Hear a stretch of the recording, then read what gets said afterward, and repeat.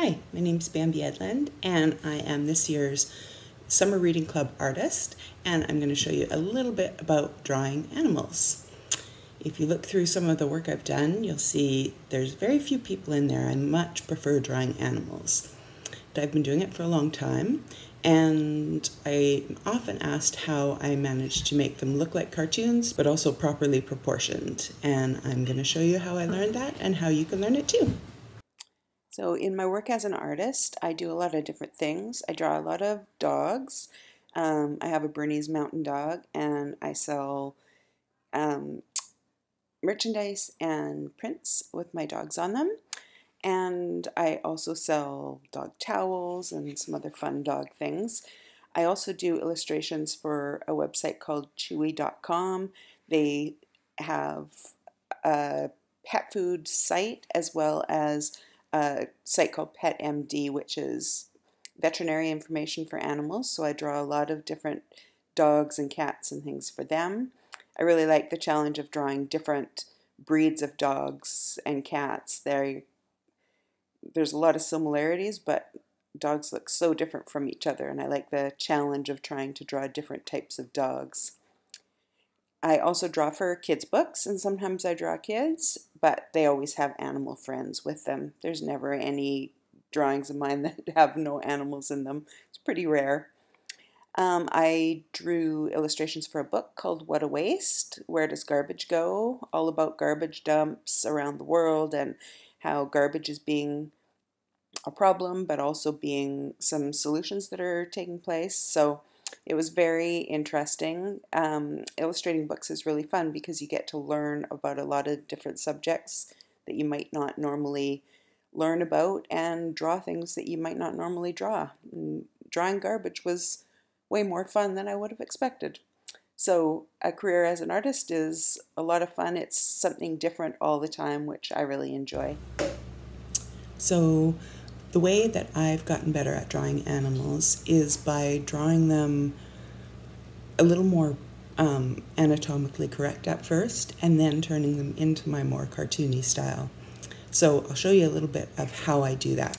Okay, so if I'm going to draw a cat, then I would start with a photo of an actual cat this is a good way to learn how a cat's bones look. So drawing the back hip and the back leg, you see the bone comes down, out to the back, and then down. It's maybe not how you would picture it in your head. So it's always good to look at photos of an actual animal and see how their different limbs look on their body, and that will help you draw them a little bit more accurately. This one's back hip is, should be down a little bit. So let's move it down here and then so their knee is actually up at the top and then their leg goes out to the back and down and that's always going to look more like a cat. So then I put in the spine and a good rule of thumb is that there's three circles, the head, the back hips, and the front hips. And in almost all animals, you'll find that this works, that if you draw circles for the back hips, the front hips, and the head, then you can rough in the body and this way you're just getting it a little more correct. So if I wanted to learn how to draw cats well, I would start this way. I would draw the guidelines, the circles, and then I would just rough in their bone structure and then the outlines. And I do this a lot. Um, I might draw them a whole bunch of different times from different photos just until I know that I've got the the way a cat looks down pat because sometimes it's not how you see it in your head. So if you look at this cartoon guy, however, you'll see that his bones have him upright like a human. So humans have top shoulders, bottom hips, their arms, their legs, their head.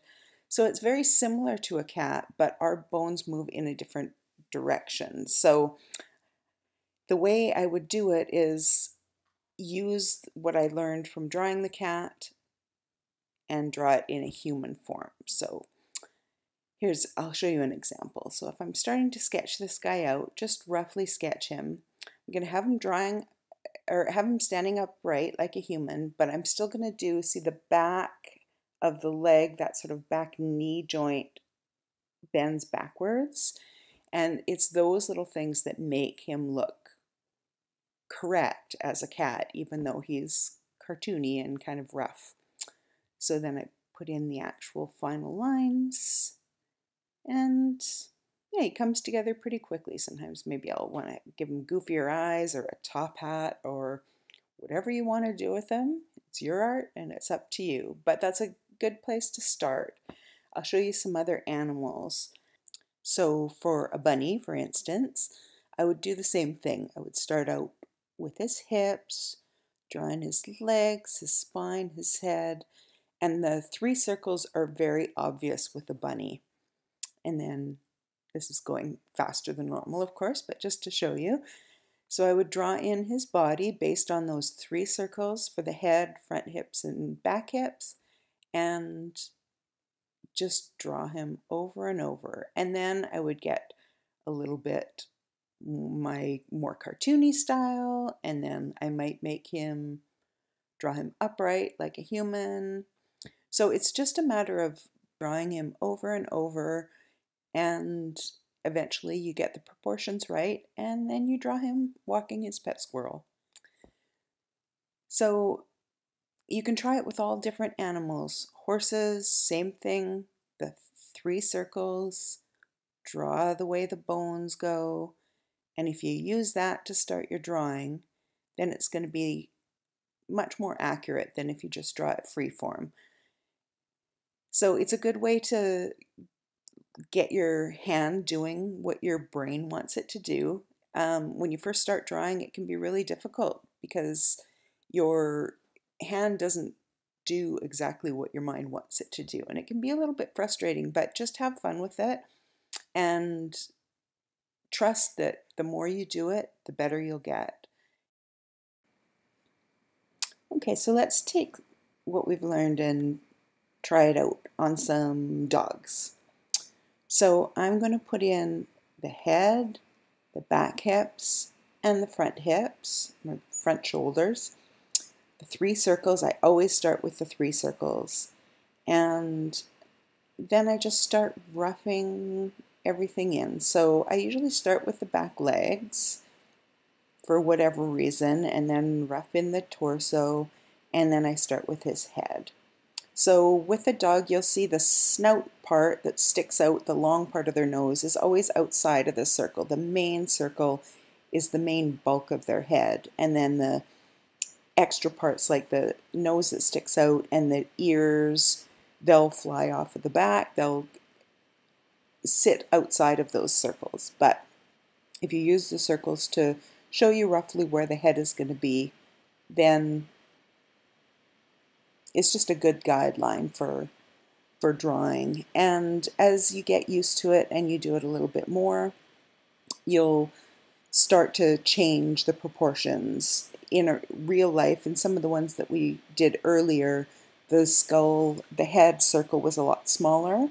But when I'm do doing um, cartoony dogs, it's always fun to have their heads a little bit bigger. You'll notice that cartoon animals always have bigger heads, and that is kind of what makes them cute and funny looking. So I like to keep the head a bit bigger. So there's a dog, he's going for a jog. So let's try using these circles and make the same, use these same circles and make the dog do something different. So maybe the back leg's going to be up a little higher this time. Let's see and put in a back leg. This guy's going to be jumping for joy a little bit. Maybe leaping like he's dancing a little bit of ballet. So I put in the tail. Sometimes it can be hard to figure out exactly where the tail should be. This is the fun part about drawing on an iPad is you can try it in a few different positions until it's how you like it. and it's pretty easy to back up. But you can do the same thing on paper, and drawing over and over on paper is a good idea as well. So in this case, we're going to have his head pointing up, his nose pointing up, and his ears flowing out behind. That's maybe a little bit long. Let's make the ear not quite so long. Sometimes I just keep trying different shapes. If I'm doing it on paper, I just draw it over and over on this in the same spot. But on an iPad, it's easy to erase the final one. So we're going to have him doing a little ballet leap with his eyes closed because he's having such a lovely time. And then we're going to give him graceful arms out the front and back. So it just is the same three circles in the same spot, but he's doing a completely different thing. But the fun thing is it looks like the same dog. So now let's have him just standing still. So that back joint on the leg, when a dog is standing, that sits on the ground. But when they're walking, they're walking on the front part of that foot. So that's a little exaggerated the way I do it when I'm making him draw like a human, and that's part of what you get to do as an artist. You get to decide how you want to make them stand. But by having that back leg look like it does in real life, it just makes him little more like a somewhat realistic looking dog. I'm going to make this guy kind of sad. Maybe he's thinking about what he's done. Poor guy. We'll put his back leg in there. There. So that's three different dogs in three very different positions using the same three circles as a guideline. Thank you for joining me today. I hope you had fun learning a little bit about how I draw my animals. And I hope you keep playing with your pencils and paper and draw a lot and draw the things that you love. That makes it much more fun. And the more you do it, the better you'll get. Stick with it, and I hope you all have great fun being artists. Thank you.